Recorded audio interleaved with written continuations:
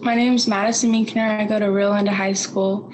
And I think one of my favorite parts was about how they show us what's really happening in each station and not so much of what you see on TV. It's more what's really happening.